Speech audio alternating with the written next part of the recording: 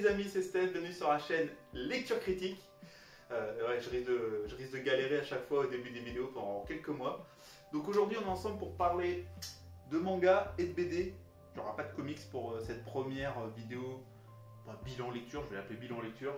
Je vais vous parler de Magical Quadra chez Vega, Dragon, Dragon and Tribe chez Kiun, Venus War qui est ici chez Naban, de Rainbow chez Kazé. Donc bon là, euh, on parle manga quand même. Le Gigot du dimanche, euh, donc euh, chez Grand Angle, qui est une BD qui m'a énormément plu.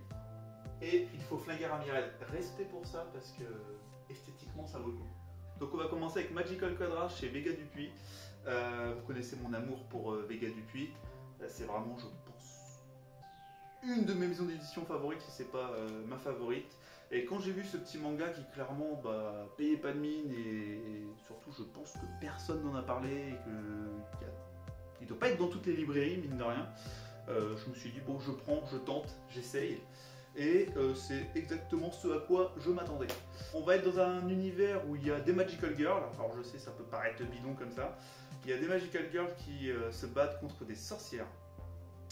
Les sorcières sont assez faiblardes. Clairement, les Magical Girls se baladent.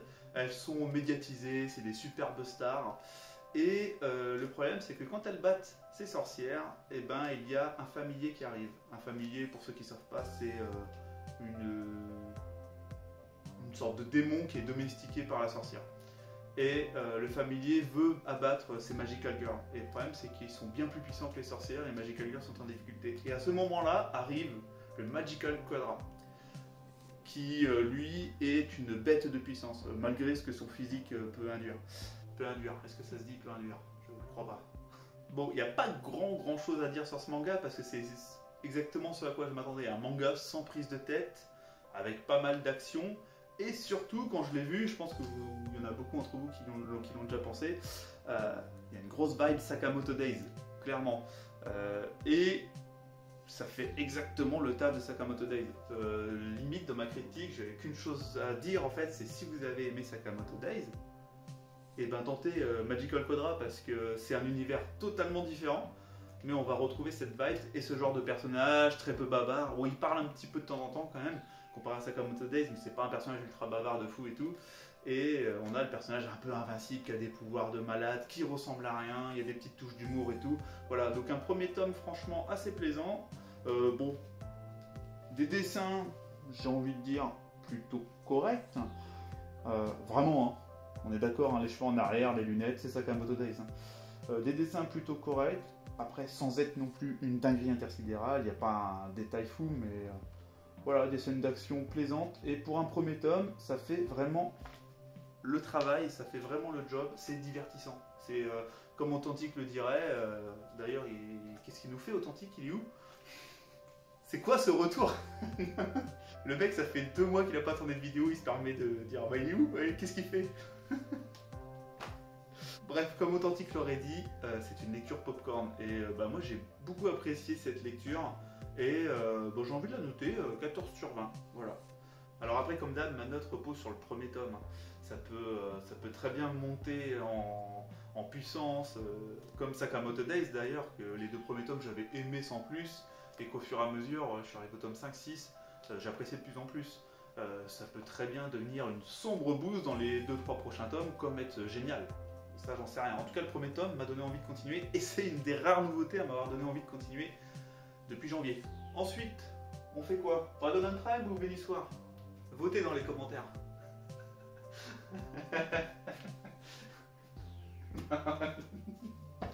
Manger un clown ou quoi je sais pas, je vais vous faire un clown, je crois. bon bah merci pour les votes, vous avez choisi Vénussoir, vous êtes géniaux. non, j'ai décidé de vous parler de Vénussoir parce que la lecture est plus récente, je l'ai lu il y a 4-5 jours. Euh, alors je vais y aller franco tout de suite, je ne suis pas allé jusqu'au bout. Euh, pourquoi? Euh, L'histoire est plutôt bien faite. On a une ambiance plutôt très correcte. Euh, clairement, ça emprunte, beaucoup, ça emprunte beaucoup de codes à Gun, puisque ça a dû être fait à peu près à la même époque, hein, dans les années 80. Euh, c'est fait par l'auteur euh, qui a fait les premiers, les premiers épisodes de Gundam et qui a fait Arion aussi chez Naban dans la même édition. hein. Le problème, c'est que j'ai eu aucune émotion, aucune attache au personnage et que bah, c'est compliqué pour au bout d'un moment continuer, continuer, continuer. J'ai lu un peu plus de la moitié, donc euh, là on est sur un tome et demi hein, quasiment, parce que c'est un sacré euh, bloc, hein. on est sur 500 pages, mine de rien, c'est énorme, très rare dans le manga 500 pages. Euh, mais voilà, j'ai pas eu envie de continuer parce que bah, je suis resté complètement à côté, malheureusement. Donc on va suivre des gens qui vivent sur Vénus, parce qu'en fait il y a un astéroïde qui est arrivé sur la planète et qui a rendu euh, la planète de Vénus habitable. Il y a deux factions, donc au niveau scénario, vous voyez, c'est très simple, hein, il y a deux factions qui se font la guerre. On va suivre ce personnage qui fait euh, un sport de moto qui ressemble d'ailleurs, euh, qui est très violent, c'est une course hyper violente où un peu tous les coups sont permis et tout, ça ressemble énormément au rollerball de Gun. Voilà, c'est là que direct je me dis, oulala, on est dans Gun à fond. Sauf que, sincèrement, bah, quand t'as déjà lu Gun, bah, surtout les quatre premiers tomes de Gun que j'avais adoré, c'est- moins bien. Sincèrement, c'est moins bien, faut, faut le dire.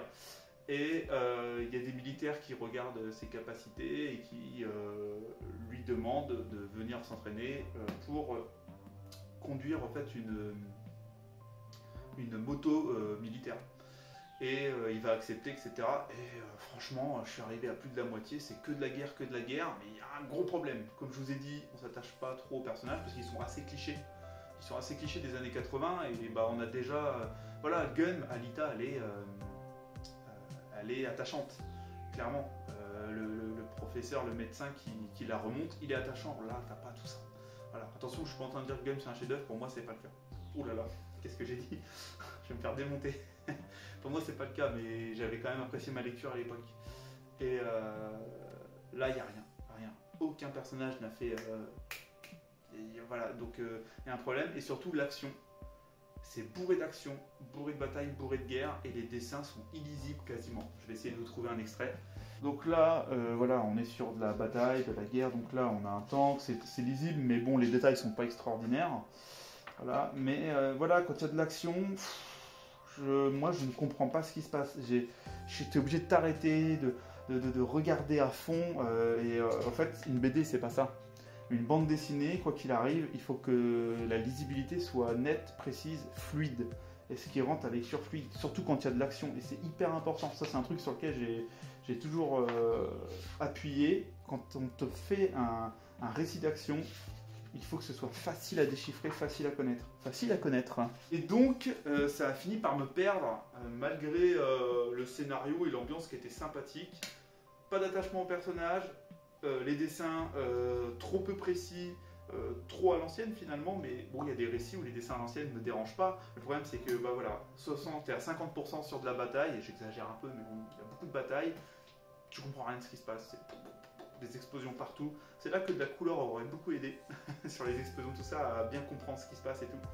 Mais c'est pas le cas, et voilà. Euh, L'édition, par contre, est correcte, on est à 25 euros, c'est cher, mais euh, on est sur 500 pages. Un énorme pavé, vous voyez, je l'ai dans la main, je trouve qu'on est sur une édition correcte. Bon, c'est du. Pour parler vulgairement, c'est du papier shot. hein. Euh, on est sur un papier jaune et un peu transparent et tout.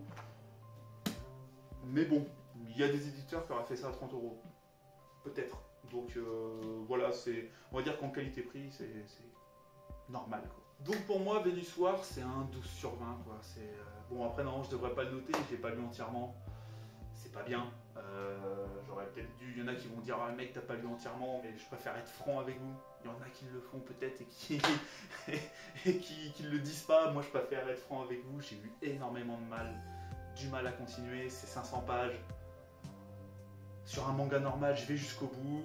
Là, 500 pages, c'est équivalent de 3 tomes. J'ai dû lire 1,5 2 tomes. Bon, voilà, quand t'accroches pas, t'accroches pas. Ensuite, je vais vous parler de Rainbow. Alors là, on est sur quelque chose de totalement différent et surtout d'une toute autre qualité. Je vous parlais des dessins euh, pas lisibles. Là, on est sur des dessins avec une superbe précision, euh, puisqu'il s'agit des dessins de Kakizaki. Ouais, la vidéo n'a aucun sens, c'est-à-dire que je vous parle des dessins euh, à la fin depuis tout à l'heure, et là on commence par les dessins. Parce que c'est une des qualités top du manga, les dessins. Ils sont absolument géniaux, et d'ailleurs, Rainbow mériterait une édition bien plus grande, avec un bien meilleur format, avec un papier bien blanc, ça, ça, ça mériterait bien, sincèrement. Donc dans Rainbow, on va suivre 7 personnages qui se retrouvent en maison de correction. Euh, 7 personnages qui vont euh, se lier d'amitié et apprendre à survivre ensemble dans cette maison de correction. Euh, je vais rester là dans le scénario parce qu'au fait, c'est un scénario très évolutif. Et dans Rainbow, il y a plusieurs mangas en un, sincèrement. C'est un manga euh, ah, pas complexe, mais assez diversifié euh, dans, euh, dans tous ses thèmes. Euh, On va avoir donc du manga qui se passe au début en prison, on va avoir du manga, du manga de boxe, du manga de sport, du manga des parties slice of life, des parties mafieuses. On a absolument tout dans Rainbow. Et la force de Rainbow, c'est que tout est extrêmement bien géré. Tout est extrêmement bien géré et toujours fluide. Et surtout, tout est bon. C'est-à-dire qu'il n'y a pas de passage où tu te dis Ah merde, c'est mauvais, pourquoi il est parti, euh, pourquoi il nous parle d'un match de boxe, là, qu'est-ce que ça fout là, pourquoi il y a des mafieux, qu'est-ce que ça fout là Jamais, tu t'es jamais euh, perdu et euh, les personnages, là où j'ai eu du mal dans mes histoires à m'attacher aux personnages, là on a 7 personnages, voire 8, 9, 10, 11, 12, 13. Non, on a énormément de personnages très attachants et le scénariste Georges Abbé a une qualité de fou pour te faire accrocher à une histoire rapidement et à des personnages très rapidement. Ça se passe dans l'après-guerre, donc euh, l'après-seconde guerre mondiale. Euh, le Japon est clairement devenu un pays pauvre à ce moment-là. Euh, c'est vraiment la loi du plus fort. Et euh, Georges Abbé, l'auteur, a vécu dans cette période-là et a été aussi dans une maison de correction, etc. Et s'est beaucoup inspiré de sa vie pour euh, parler de, pour écrire Rainbow. Et euh, c'est ce qui rend aussi ce récit encore euh, plus touchant. Même s'il a dû édulcorer beaucoup de choses, hein, parce qu'il s'en passe des choses euh, incroyables, peut-être parfois improbables dans Rainbow, mais euh, ça rend le récit plus touchant. Et il a des notes, il met des notes à, chaque fin de chapitre qui euh, sont souvent assez touchantes à lire, très, très sympathiques.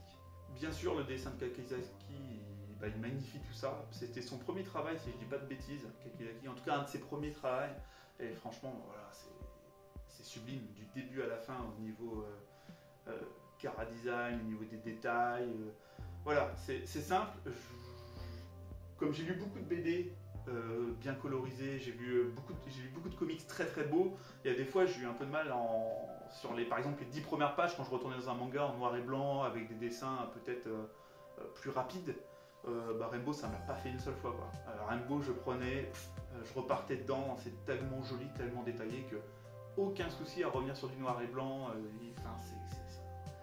C'est- au-dessus. C'est euh, dans- en manga, c'est vraiment au-dessus au niveau dessin. Et ce qui compte vraiment, c'est euh, les moments d'émotion de Rainbow. C'est des gros moments d'émotion. Donc euh, moi, ça m'a vraiment plu. J'ai pris le temps pour les lire. Et en fait, je pense que c'est tellement bien foutu comme manga que même quand je faisais une pause de 2-3 semaines entre chaque tome, je me souvenais où j'en étais. Et ça, c'est hyper rare et c'est surtout un gros signe de la qualité du récit. Euh, je, bon, devrais pas le dire, mais la fin m'a laissé un peu plus. euh, j'ai un peu moins aimé la fin que le reste du récit, mais ça se tenait quand même très bien. C'était pas une, pas une fin catastrophique. Et euh, bah, dans l'ensemble, je lui mets 17 sur 20, je pense, à Rainbow. Allez voir 18, je suis sur un 17-18, c'est vraiment un très bon manga. Petite note sur l'édition qui est pas folle. Comme je vous ai dit, ça mériterait un plus gros format. Mais en attendant, on est à 11-12 euros. Euh, J'ai plus le prix exact, mais on est à 11-12 euros. Et bah, on a l'équivalent de 3 tomes à chaque tome. Ce qui fait une qualité-prix euh, quand même euh, très sympa. Mais bon, je vous avoue que vraiment Rainbow, ça mériterait vraiment, vraiment, euh, genre une édition comme les Pika graphiques, etc. Ça, serait au moins pas mal. Ensuite, on va descendre un peu en qualité avec Dragon and Tribe. Un peu, un peu beaucoup. Bon, pour ce qui est des dessins, c'est un style différent, on est sur quelque chose de très crayonneux. C'est par l'auteur, donc c'est un euh, manga fait euh, par Kiyun, exclusivement par Kiyun, avec Shiro Kuroi, l'auteur de Léviathan. Pour ceux qui euh, se demandent, je mets peut-être l'image de Léviathan là, pour ceux qui ne voient pas ce que c'est. C'est un manga que j'avais apprécié lors de ma première année sur la chaîne. J'avais aimé le premier tome, beaucoup aimé le premier tome même, et bon, le deuxième, troisième tome, c'était un petit peu perdu, mais dans l'ensemble, ça restait un manga correct. Euh, il a un dessin, euh, Chilo Color, très, euh, très agréable, avec beaucoup de traits, c'est très crayonneux, c'est- des traits, il repasse beaucoup et tout. Et euh, j'aime bien, son- j'aime bien son dessin en règle générale. Mais bon, quand je vois la déception qu'avait été Léviathan à partir du troisième tome, surtout au niveau scénario, et quand je vois la qualité de scénario de celui-ci, eh bien, je me dis que chez le Kuroy, il, pourrait- il devrait peut-être penser à seulement dessiner et à laisser le scénario à quelqu'un d'autre, sincèrement. Parce que là, c'est un putain de fourre-tout. Euh, on se retrouve avec un manga qui veut aller vite, trop vite, qui veut mettre tout. Euh, Enfin, pour moi, il y a l'équivalent de deux tomes, ce qui aurait dû se passer sur deux tomes en un tome, et, et ça va trop vite, quoi. C'est too much. T'arrives à la fin, tu te dis merde, putain, j'ai lu trop de choses. J'ai lu trop de choses, et surtout, il prend pas le temps de développer des choses qui pourraient être intéressantes.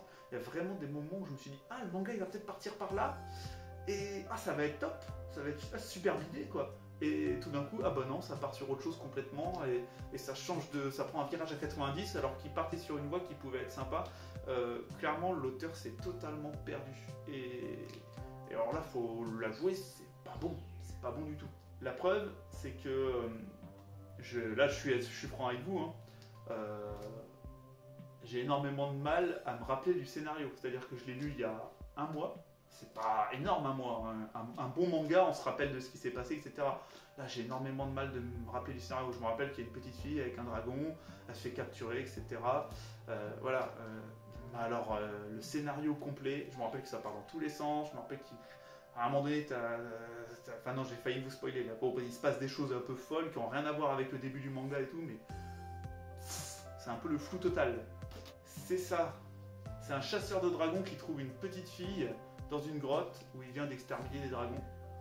Et il la ramène, et il la ramène dans le monde des humains. Et putain, là, ça me revient. Ouh, ouh. Et en gros, le récit va tenir sur le fait de est-ce qu'elle va, euh, comment dire, euh, s'habituer aux humains Est-ce qu'elle va être du côté des humains ou du côté des dragons, etc.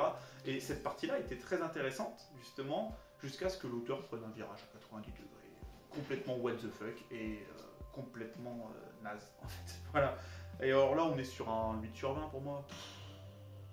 Allez, 10 sur 20 parce qu'il y a des beaux dessins. Voilà. Mais alors, sincèrement, c'est mauvais. Quoi. Je vous ai souvent dit que j'aime bien Kiun. J'aime bien Kiun parce qu'ils font des éditions de qualité. Alors, déjà, à savoir que je trouve que leurs éditions sont de moins en moins euh, folles. C'est-à-dire que Kiun, je trouvais qu'ils faisaient des gros efforts il y a encore 4-5 ans. Ils mettaient des paillettes sur les couvertures, ils mettaient des, euh, des petits carrés, il y avait des gros effets de brillance. Par exemple, euh, l'Astéro Miyashiki qui était très beau et tout. Ils le font de moins en moins. Euh, ils deviennent de plus en plus feignants chez Kiun à ce niveau-là. Je sais pas si vous êtes d'accord, euh, c'est vraiment l'impression que j'ai. Et surtout, les gars, moi le gars, enfin, je, je vais- je vais. Désolé, il y a des croquettes du chat avec un distributeur automatique qui sont tombées. je, vais, refaire mon mec qui se la pète en mode euh, si j'étais éditeur, mais moi, franchement, tu me sors un manga comme ça, et même pas en rêve, je l'édite. Je dis au gars, excuse-nous, mais il y a ça, ça, ça, ça, ça, ça, ça qui va pas, enfin, plein de problèmes quoi. Mais je crois qu'ils s'en foutent totalement en fait. Ils sont arrivés à un point où ils se disent, euh, ouais, bah vas-y, sors ça, ça va, ça va se vendre quand même. Franchement, je, les soupçonne d'être un peu dans ce délire-là des fois parce que c'est pas bon. Ensuite, on va parler BD. Donc euh, chez Grand Angle, un éditeur que vous allez beaucoup voir sur la chaîne parce que je suis tombé sur cet éditeur euh, pas longtemps et en fait bah, quasiment tout ce que je lis de cet éditeur est super bon. Et, au moins bon. Et donc euh, c'est un peu un gage de qualité. Donc euh, là on a le gigot du dimanche euh, de Pelaez et SP. Euh, c'est un très bon scénariste, j'ai lu trois trucs de lui, trois trucs totalement différents. Pareil, vous allez le revoir un petit peu sur la chaîne je pense. Et trois trucs de très bonne qualité. Donc SP, je le connais que sur euh, les dessins ici.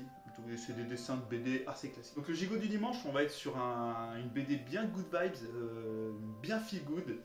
Euh, puisqu'au fait on a une petite grand-mère, toute une famille que vous voyez là, qui se rejoint le dimanche pour manger le gigot avec la grand-mère.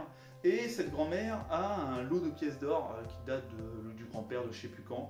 Et il est planqué quelque part dans la maison et ils sont tous là pour découvrir où est-ce qu'elle le planque. Bon, ils sont pas très doués, hein, ils le trouvent jamais, mais. Euh, en fait, ce qui va fonctionner avec cette BD, c'est toutes les petites histoires, hein, c'est tous les personnages qui sont super bien foutus, qui sont euh, intéressants, marrants. Et euh, nous, on va suivre le- l'enfant là qui est au milieu de tous ces adultes, et on va avoir la vision de cet enfant euh, parmi tous ces adultes qui sont euh, hyper intéressés, qui sont là pour euh, l'or clairement, selon, les caractères. Et vraiment, ils ont tous une histoire sympa, et c'était génial à suivre. On est vraiment sur une BD moi, le ressenti que j'ai eu en la fermant, c'est putain, ça ferait un super bon film français quoi. Vous voyez, les bons films français qui ont un très gros succès et tout, qui sont feel good, marrants et tout, bah ça ferait un très bon film. Bon, là où le bas blesse pour moi, c'est vraiment le cara design. On n'est pas sur quelque chose d'extraordinaire. Là, vous pouvez en convenir, hein. franchement, euh, voilà, les, les design, ça c'est pas fou. On est vraiment sur de la BD française hyper classique. Et en toute honnêteté, si j'étais pas tombé amoureux de l'éditeur Grand Angle, eh ben, j'aurais jamais mis la main sur, euh, cette BD et j'aurais jamais euh, pris autant de plaisir à, la lire et j'aurais jamais rigolé comme j'ai rigolé devant cette BD. Et ça, bah, comme quoi, des fois, juste avoir confiance en un éditeur et maintenant un auteur, euh, eh ben, ça peut te faire découvrir euh, de belles, jolies pépites. Parce que c'est clairement une pépite. Cette petite euh, BD du Gigot du Dimanche. Je vais pas vous dire grand chose d'autre parce que au final j'ai déjà tout résumé. Et il n'y a que combien? 72 pages. Donc au fait, on va vite spoiler. C'est un one shot, il n'y a pas de suite. Mais sincèrement, je vous le conseille si vous voulez passer un bon moment feel good quoi. Alors ensuite, sur un tout autre registre, si vous aimez, euh, j'ai envie de dire, alors je vais, je vais vous vendre du rêve un peu, j'exagère, je le fais un peu exprès. Si vous aimez GTA et Quentin Tarantino, hop, on a Il faut flinguer Ramirez. Alors là, esthétiquement, là on est sur quelque chose de très très beau,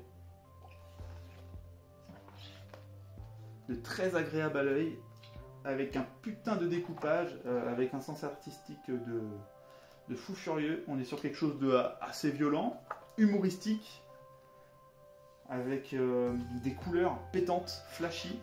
Franchement, j'ai pris beaucoup de plaisir devant cette BD.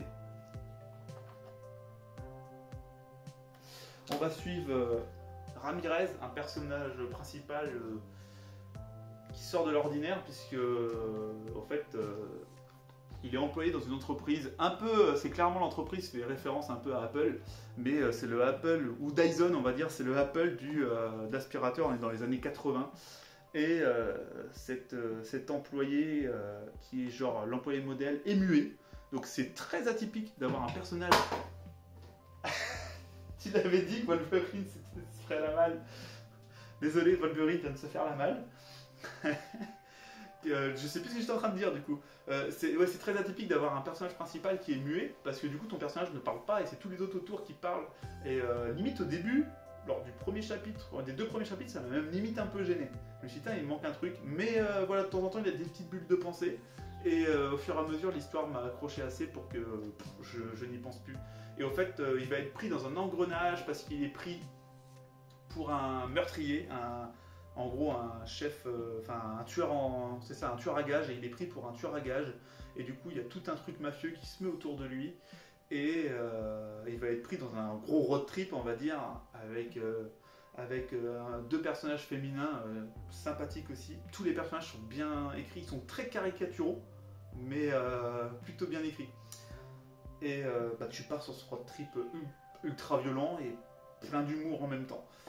Vous pouvez le voir sur ce genre de truc. Bon voilà, on met le gars, on lui met la tronche dans le, volant, euh, c'est saignant, il y a du personnage badass, mais vraiment esthétiquement c'est sublime. C'est très sublime. On a aussi euh, des super pubs entre chaque chapitre, euh, là d'une nouvelle Storm 5 qui est clairement une Renault 5. Vous voyez? Il y a des petites pubs sympathiques à lire comme ça et tout. Vraiment un univers, voilà, là c'est plus rose flashy parce qu'on est avec les filles. Voilà. C'est cliché, mais oula Je vais pas me faire euh, striker la chaîne. Donc niveau prix, on est à 19,95, presque 20 euros, mais bon là on a beaucoup de pages. hein. Euh, Ça c'est des BD, tu mets une heure et demie pour les lire. Si c'est pas deux heures, si tu fais, prends bien le temps de regarder tous les détails et tout.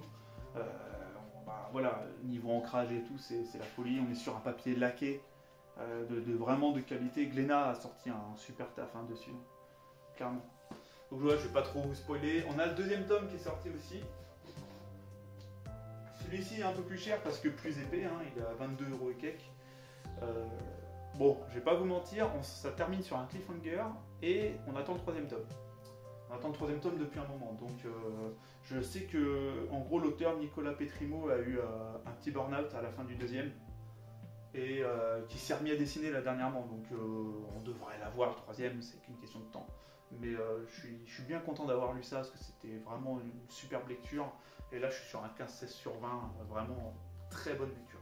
Et c'est là, quand tu as lu ça, et que esthétiquement, en couleur et tout, t'en as pris plein les yeux avec un papier de qualité de fou, que tout Venus War, c'est compliqué. Je vous dis, c'est compliqué quand tout Venus War derrière. Il faut un petit temps de 10-15 pages d'adaptation euh, pour les yeux. Quoi. Tu passes d'un très moderne en BD euh, fait sur tablette graphique, certainement, c'est quasi, même sûr, c'est fait sur tablette graphique, à euh, un système d'ancrage des années 80 fait à la plume, artisanale et tout. Et après, c'était un taf peut-être même plus dur à l'époque hein, sur Venus War. Donc voilà, j'espère que cette première vidéo bilan lecture vous a plu. vous avez vu, hein, je vous parle de manga quand même. Voilà. Après, les prochaines vidéos, il y aura peut-être un petit peu moins de manga et euh, ce sera peut-être plus équilibré entre le manga, euh, BD, comics, etc. Peut-être que des fois, je ferai des vidéos spéciales manga, des fois, je ferai peut-être des vidéos spéciales comics, spéciales BD. Je me laisse liberté totale, sincèrement, voilà. Et euh, je suis pas à la recherche du clic. J'ai envie que mes vidéos fassent un peu de vues, mais euh, ce que je veux dire, c'est que voilà si je fais moins de vues parce que je parle que de comics sur une vidéo, c'est pas grave. Voilà, ce sera comme ça, c'est tout. Donc les amis, je vous fais un gros bisou, j'espère que ça vous a plu, et puis bah à la prochaine. On est bien là